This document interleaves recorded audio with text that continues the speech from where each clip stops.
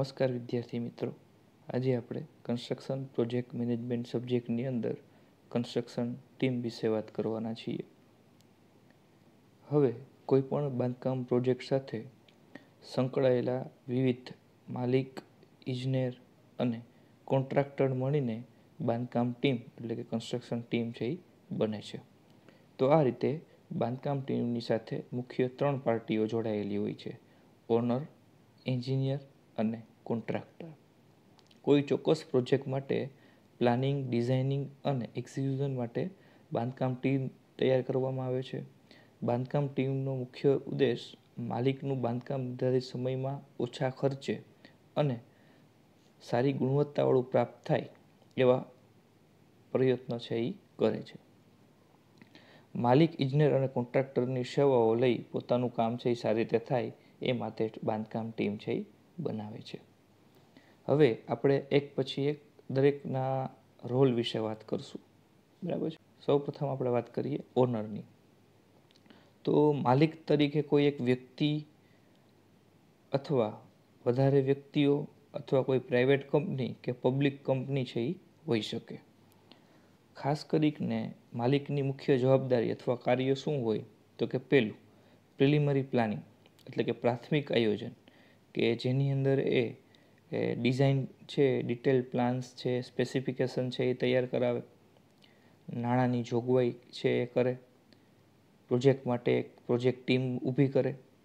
દરેક કામ માટે રિસોર્સિસ જે અવેલેબલ હોય તે નક્કી કરે. પ્રોજેક્ટ માટે જે જરૂરી સર્વે કરાવવાના હોય તે સર્વે કરાવે. બરાબર છે? પછી બીજું કે ડિટેલ ઇન્વેસ્ટિગેશન. તો ડિટેલ ઇન્વેસ્ટિગેશનની અંદર તે જીઓલોજીકલ, હાઇડ્રોલોજીકલ, ક્લાઇમેટ અને સાઇટ કન્ડિશન વગેરે માટે ડિટેલ ઇન્વેસ્ટિગેશન કરાવે. જેમ કે સાઇટ કન્ડિશન છે એ એની અંદર જોવે કે ભાઈ આજુબાજુની અંદર કેવા મટિરિયલ છે, સંસાધન ઉપલબ્ધ છે, બરાબર? ભૌતિક સુવિધાઓ છે કે નહીં? એ જ રીતે જીઓલોજીકલની અંદર તો કે ભાઈ સોઇલ છે એ કેવા પ્રકારની છે, બરાબર? એ બધું ચેકિંગ કરાવશે. નેક્સ્ટ ઇન્ફ્રાસ્ટ્રક્ચર ફેસિલિટી એટલે કે માળખાગત સુવિધાઓ, કે જેની અંદર કોન્ટ્રાક્ટર છે એ જરૂરી સગવડો જેવી કે રસ્તા, વીજળી, પાણી, રહેઠાણ માટે પૂરી ગોઠવણ કરી આપે. નેક્સ્ટ આપણે વાત કરીએ પરમિશન ફ્રોમ લોકલ ઓથોરિટીઝ એટલે કે સ્થાનિક સત્તાવાળાઓની મંજૂરી. માલિકે જુદા જુદા સત્તાવાળો જેવી કે મ્યુનિસિપલ કોર્પોરેશન ફાયર બ્રિગેડ વિભાગ રેવન્યુ વિભાગ વગેરે પાસેથી જરૂરી મંજૂરી છે એ મેળવવી પડે. પછી આપણે વાત કરીએ ફાઇનાન્સ એટલે કે નાણાંની. તો કામની જેમ જેમ પ્રગતિ થાય, તેમ માલિકે બિલોની ચૂકવણી માટે નાણાંની જોગવાઈ છે એ કરવાની હોય. બરાબર? તો આ જે પાંચ છે એ મેન હતા ઓનરના મુખ્ય જવાબદારીઓ. બરાબર છે? આ સિવાય બીજું માલિકની અંદર શું આવે? તો કે નાણાકીય વહીવટી મેનેજમેન્ટની બાબતોમાં અગત્યના નિર્ણયો લે છે. પ્રોજેક્ટ માટેના સંસાધનો જેવા કે માલસામાન, મજૂરો, નાણાં પર માલિકનો અંકુશ હોય છે. કામ પૂર્ણ થયા બાદ તેના નિભાવ માટે પણ માલિક છે એ ગોઠવણ કરે છે. તો આ હતું ઓનર માટે. હવે આપણે વાત કરીએ એન્જિનિયર માટે. કન્સ્ટ્રક્શન ટીમની અંદર એન્જિનિયર તરીકે સ્ટ્રક્ચર એન્જિનિયર હોઈ શકે મિકેનિકલ એન્જિનિયર હોઈ શકે ઇલેક્ટ્રિકલ એન્જિનિયર હોઈ શકે અથવા આર્કિટેક્ચર હોઈ શકે, પછી ક્વોન્ટિટી સર્વેયર હોઈ શકે, પછી સેફ્ટી ઓફિસર હોઈ શકે, બરાબર? સોઇલ ઇન્વેસ્ટિગેટર હોઈ શકે. હવે આપણે વાત કરીએ રોલ ઓફ એન એન્જિનિયર અથવા ફંક્શન ઓફ એન્જિનિયર તો સૌ પ્રથમ છે ડિઝાઇનિંગ પ્લાનિંગ એન્ડ ડ્રોઈંગ એટલે કે જે એન્જિનિયર છે એ માલિકની જરૂરિયાત સમજી અને તેનું બરાબર અભ્યાસ કરી એ છે યોગ્ય ડિઝાઇન બનાવશે પ્રોજેક્ટ માટે. અને ડિઝાઇન કરતી વખતે ખાસ ધ્યાન રાખશે કે જે અવેલેબલ રિસોર્સિસ કેટલા છે. બરાબર? મજૂરો છે એ સ્કિલ છે કે અનસ્કિલ છે, કેટલી મશીનરી ઉપલબ્ધ છે, આ બધું ધ્યાનમાં રાખી અને એક પ્રોજેક્ટની ડિઝાઇન છે એ તૈયાર કરશે. પછી સ્ટ્રક્ચર છે, એના ઉપર હવામાનની અસરો પછી કેમિકલ ઇફેક્ટ્સ એ બધું ધ્યાન રાખી અને એક જે તે આબોહવાને અનુકૂળ હોય તેવું એક સ્ટ્રક્ચર છે, એની ડિઝાઇન બનાવશે. પછી ડિટેલ કન્સ્ટ્રક્શન દોઈને તૈયાર કરો, કરવા કે જેથી કરીને ટેન્ડર ડોક્યુમેન્ટ છે એની અંદર એ જોડી શકાય. પછી ડિટેલ કન્સ્ટ્રક્શન પ્રોગ્રામ તૈયાર કરવા કે જેની અંદર કન્સ્ટ્રક્શનની એક્ટિવિટીનું શેડ્યુલ હોય લેબર શેડ્યુલ હોય મટીરિયલ શેડ્યુલ હોય, બરાબર? કે જેથી કરીને વિવિધ એક્ટિવિટી અને તેના માટે આપણે સમય છે, એની ફાળવણી છે એ કરી શકીએ અને એની અંદર કરેલી હોય. પછી ટેન્ડર ડોક્યુમેન્ટ તૈયાર કરાવવું પ્રિપેરેશન ઓફ ટેન્ડર ડોક્યુમેન્ટ એટલે કે એકવાર નક્કી થઈ જાય કે ભાઈ આપણે આ છે, એ ફાઇનલ પ્લાન છે. પછી આપણે વર્ક છે કોન્ટ્રાક્ટરને સોંપવું પડે. તો એ પહેલાં આપણે ટેન્ડર ડોક્યુમેન્ટ તૈયાર કરવું પડે અને ટેન્ડર દ્વારા અલગ અલગ કોન્ટ્રાક્ટર છે એને ઇન્વાઇટ કરવામાં આવે કામ માટે. તો આ ટેન્ડર છે એ ખૂબ જ કાળજીપૂર્વક છે એ તૈયાર કરવામાં આવે. કારણ કે અંતે ટેન્ડર છે એ કોન્ટ્રાક્ટનો એક ભાગ છે. કોન્ટ્રાક્ટરની શરતો સ્પેસિફિકેશન છે એ કાળજીપૂર્વક તૈયાર કરવામાં આવે. વિવિધ આઇટમો જેવી કે ખોદકામ, ચણતર આરસીસી વગેરે માટે ચોકસાઈપૂર્વક દરેકની ક્વોન્ટિટી છે એ ગણતરી કરી આની અંદર લખવામાં આવે. વિવિધ આઇટમો માટે વિવિધ આઇટમો માટે બજારમાં ચાલુ ભાવ પ્રમાણે અંદાજ તૈયાર કરવામાં આવે. બરાબર? અને ખાસ કરીને ટેન્ડરની અંદર ડાયરેક્ટ કોસ્ટ જેવી કે મટીરિયલ મશીનરી મજૂરો ઉપરાંત ઇનડાયરેક્ટ કોસ્ટ જેવી કે ઓવરહેડ ચાર્જિસ એસ્ટાબ્લિશમેન્ટ ચાર્જિસ ભાવ વધારો વગેરેને અંદાજિત ખર્ચની અંદર ધ્યાનમાં લેવામાં આવે. નેક્સ્ટ છે ઇન્વિટેશન ઓફ ટેન્ડર એટલે કે ટેન્ડર મંગાવવા.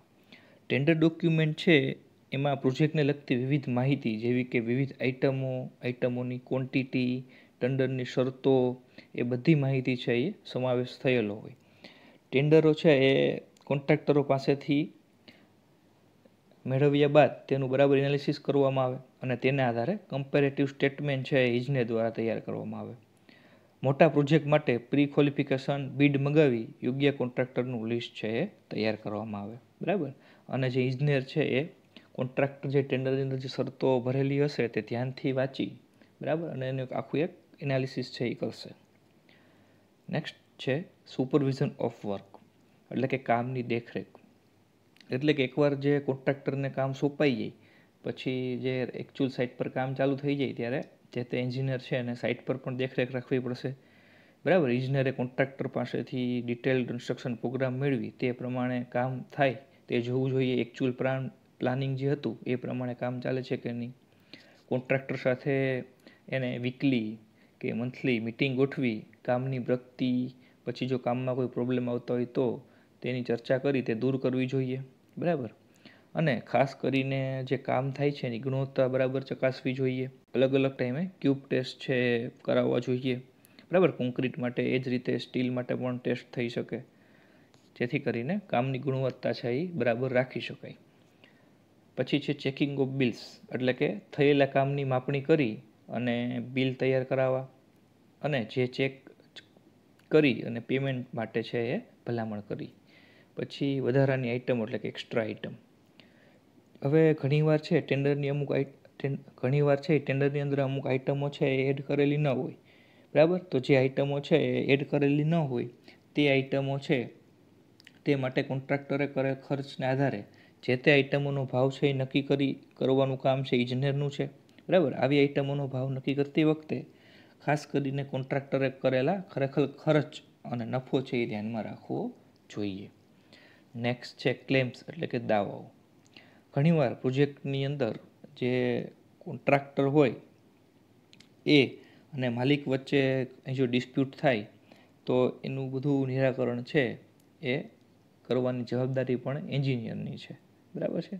એના માટે આવા ડિસ્પ્યુટ રોકવા ઇજનેરે પોતાના વર્તન અને ક્રિયા ઉપર અંકુશ રાખવો જરૂરી છે અને ક્રામની પ્રગતિની સમયાંતર ચકાસણી કરતા રહેવું અને જરૂરી રેકોર્ડ છે એ બનાવતા રહેવા. બરાબર?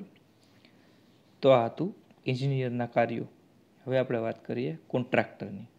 તો contractor may be an individual undertaking small contracts or large construction company undertaking turnkey projects હવે કોન્ટ્રાક્ટરના કાર્યો છે એ શું હોઈ શકે? બરાબર? ફંક્શન ઓફ કોન્ટ્રાક્ટર તો સૌ પ્રથમ તો ટેન્ડર ભરવું બિડિંગ કોન્ટ્રાક્ટર ટેન્ડર ભરતા પહેલાં સૌ પ્રથમ તો ટેન્ડરની વિવિધ આઇટમો એના રેટ બરાબર? ટેન્ડરની શરતો વગેરેને કાળજીપૂર્વક છે એનું સ્ટડી કરી લેવું જોઈએ. આ ઉપરાંત સાઇટ કન્ડિશન પછી માર્કેટની અંદર કઈ વસ્તુના કયા ભાવ ચાલે છે એ બધાનો વ્યવસ્થિત છે એ અભ્યાસ કરવો જોઈએ. જો નવા પ્રકારના કામ માટે ત્યાંના સ્થાનિક બજાર ભાવો, મજૂરો અને તેમની ઉપલબ્ધિ, સ્થાનિક કાયદા વગેરેનું ખાસ છે એ ધ્યાન રાખવું જોઈએ. નેક્સ્ટ છે પ્રિપેરેશન ઓફ વર્ક એટલે કે તૈયારીના કામો. કોઈ પણ કામ છે એક વ્યવસ્થિત કરવા માટે કોન્ટ્રાક્ટરે સૌ પ્રથમ જોબ લેઆઉટ તૈયાર કરવો જોઈએ કે જે જોબ લેઆઉટની અંદર વર્કશોપ પછી ફેબ્રિકેશન યાર્ડ, પછી મટીરિયલ સ્ટોરેજ વગેરેનું સ્થાન છે એ નક્કી કરવું જોઈએ કે કે જેથી જ્યારે કામ ચાલુ થાય ત્યારે માલ સામગ્રીની હેરફેરમાં અનુકૂળતા રહે.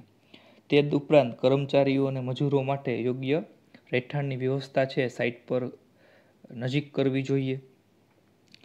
બરાબર? અને આ ઉપરાંત જે જે સાઇટની અંદર મટિરિયલની જરૂર પડે છે તે આજુબાજુની કઈ જગ્યા પરથી ઉપલબ્ધ છે? ક્રશિંગ અને સ્ક્રીનિંગ પ્લાન્ટ કોન્ક્રીટ મિક્સિંગ અને બેચિંગ પ્લાન્ટ બરાબર? વગેરેનું પ્લાનિંગ છે, બરાબર કરવું જોઈએ. જેથી મટીરિયલ છે એ પૂરતા જથ્થામાં વળી રહે અને ખોટો સમય છે એ વેડફાય નહીં. તદ ઉપરાંત જે ભૌતિક બધી સુવિધાઓ છે, એટલે કે પાણી, વીજળી, રસ્તા, એની પણ ગોઠવણ છે અગાઉથી કરી લેવી જોઈએ. નેક્સ્ટ છે પ્લાનિંગ એન્ડ પ્રોગ્રામિંગ બરાબર? કે કોન્ટ્રાક્ટર છે એને કામનો સંપૂર્ણપણે અભ્યાસ કરી કામ છે એને અલગ અલગ તબક્કાની અંદર વેચી દેવું જોઈએ. કામના દરેક તબક્કા માટે એક પ્રોગ્રામ એની પાસે તૈયાર હોવો જોઈએ. બરાબર? અને એ પ્રોગ્રામ તૈયાર કરતી વખતે દરેક બાબતો છે એ ધ્યાનની રાખવી જોઈએ. તદુપરાંત તેને વિવિધ મટીરિયલની કયા સમયે કેટલી જરૂર પડશે એ પણ એની પાસે એક પ્લાનિંગ હોવું જોઈએ. એ જ રીતે મશીનરી માટે પણ, એ જ રીતે લેબર માટે પણ એની પાસે એક શેડ્યુલ છે એ તૈયાર હોવું જોઈએ. પછી આપણે વાત કરીએ કોઓર્ડિનેશન એન્ડ મોનિટરિંગ એટલે કે સંકલન અને દેખરેખ. તો આપણે આગળ વાત કરીએ એમ કે કન્સ્ટ્રક્શન ટીમ છે, ઘણા બધા માણસોનો બનેલો છે.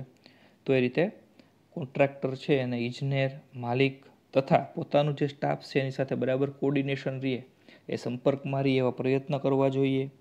કામ શરૂ થયા પછી દરેક તબકે કામની પ્રગતિ છે એ ચકાસવી જોઈએ. બરાબર? અને એની સાથે ખરેખર જે પ્લાનિંગ કરેલું હતું તે મુજબ કામ થાય છે કે નહીં એ ચેક કરવું જોઈએ. જો એની અંદર કંઈ અડચણ જણાય તો યોગ્ય પગલાં લઈએ, સુધારા છે એ કરવા જોઈએ. બરાબર? હવે આપણે વાત કરીએ ક્વોલિટી કંટ્રોલની એટલે કે ગુણવત્તા નિયંત્રણ કોન્ટ્રાક્ટરને કામની ગુણવત્તા સાથે કોઈ બાંધછોડ ન કરવો જોઈએ. બરાબર? કામની શરૂઆતથી જ તેણે પોતાનું કામ છે એ ઉત્તમ ગુણવત્તાવાળું થાય તેવી ખાતરી કરવી જોઈએ. કામની ખરાબ ગુણવત્તા બદલ ઇજનેર છે, એની આઇટમોનો દર છે, એ ઘટાડી શકે, તેનો ખ્યાલ છે એને રાખવો જોઈએ. નેક્સ્ટ છે સેફ્ટી ઓફ વર્કર્સ એટલે કે મજૂરોની સલામતી. કોન્ટ્રાક્ટર છે અને મજૂરો છે એની અંદર કોન્ટ્રાક્ટર છે ને મજૂરોની મુલાકાતીઓ વગેરેની સલામતી માટે પૂરતી કાળજી લેવી જોઈએ અને તેને યોગ્ય વીમો છે એ ઉતારેલો હોવો જોઈએ. તો આ હતા કોન્ટ્રાક્ટરના કાર્યો. બરાબર? હવે આપણે વાત કરીએ માલિક, ઇજનેર અને કોન્ટ્રાક્ટર વચ્ચે ઇન્ટરેક્શન તો આપણે જેમ વાત કરી એમ કે કન્સ્ટ્રક્શન ટીમ છે એ ખાસ કરીને ત્રણ પાર્ટીનો બનેલો છે, માલિક, ઇજનેર અને કોન્ટ્રાક્ટર. તો આપણે વાત કરીએ કોઈ પણ પ્રોજેક્ટનું કામ છે એ સરળતાથી અને કાર્યક્ષમ રીતે પ્રગતિ કરે તે માટે પ્રોજેક્ટ ટીમના વિવિધ જે ઘટકો છે એટલે કે માલિક, ઇજનેર અને કોન્ટ્રાક્ટર, એને પોતાની જવાબદારીનું સંપૂર્ણપણે જ્ઞાન હોવું જોઈએ, બરાબર? અને તે સારી રીતે નિભાવતા હોવા જોઈએ. આ ફિગરની અંદર તમે જોઈ શકો, માલિક, ઇજનેર અને કોન્ટ્રાક્ટર વચ્ચે આપણે સંબંધ છે એ દર્શાવેલા છે. સૌ પ્રથમ તો એ, એટલે કે કોન્સેપ્શન ઓફ આઈડિયા એટલે કે માલિક છે એ કોઈ પણ પ્રોજેક્ટ માટે વિચારી અને એ વિચાર ઉપરથી પોતાની જરૂરિયાતો છે એ ઇજનેરને જણાવશે. તો એ પહેલું જે ખાનું છે એ વાળું, એ થઈ ગઈ રિસ્પોન્સિબિલિટી ઓફ ઓનર ત્યારબાદ બી કે જેની અંદર લખેલું છે સ્ટડી એન્ડ ઇવોલ્યુશન બરાબર? એટલે કે જે ઇજનેર છે એ પ્રોજેક્ટનો સંપૂર્ણ અભ્યાસ કરી અને એનાલિસિસ કરી અને તારણો કાઢશે. બરાબર? અને તેના માટે માલિક સાથે ચર્ચા કરશે. અને તેને આધારે પછી એ પ્રોજેક્ટ માટે એક ડિઝાઇન કરશે, જે લખેલું છે આપણે સી બોક્સની અંદર. બરાબર? ત્યારબાદ છે ડી એટલે કે કોન્ટ્રાક્ટ એટલે કે જે એન્જિનિયર છે એ ડિઝાઇન બની જાય, પછી ટેન્ડર તૈયાર કરશે અને કોન્ટ્રાક્ટરને કામ છે એ સોંપશે. બરાબર? નેક્સ્ટ પછી આવે છે ઈ કે જેની અંદર જે કોન્ટ્રાક્ટરને કામ સોંપેલું હોય એ બાંધકામ ચાલુ ચાલુ કરશે. જો બાંધકામ દરમિયાન તેને કોઈ પ્રશ્ન ઉદ્ભવે, તો તે ફરી પાછું એન્જિનિયર પાસે છે એ જશે અને પોતાનું સોલ્યુશન છે એ લાવશે. બરાબર? તો ફિગરની અંદર તમે જોઈ શકો ઈ પાસેથી આપણે એક એરો જાય છે સી તરફ પ્રોબ્લેમ્સ અને સી તરફથી એક એરો આવે છે ઈ તરફ સોલ્યુશન બરાબર? નેક્સ્ટ એફ એટલે કે બાંધકામ પૂર્ણ થયા બાદ માલિકને છે એ કામ સોંપી દેવામાં આવે છે અને માલિક છે એ બાંધકામ નિભાવવા માટે મેન્ટેનન્સ માટે વ્યવસ્થા છે એ કરે છે. તો આ રીતે આ જે ફિગર છે એ ઓનર એન્જિનિયર અને કોન્ટ્રાક્ટર વચ્ચે ઇન્ટરેક્શન છે એ બતાવે છે. ફિગરની નીચે બતાવેલું છે કે કયા બુક્સની અંદર ડિઝાઇન છે એ કેનું કાર્ય છે? બરાબર? કેની રિસ્પોન્સિબિલિટી છે? બરાબર? Okay Thank you.